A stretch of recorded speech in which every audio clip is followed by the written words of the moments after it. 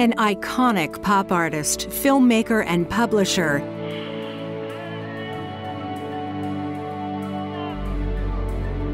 Andy Warhol is one of the most influential artists of the 20th century.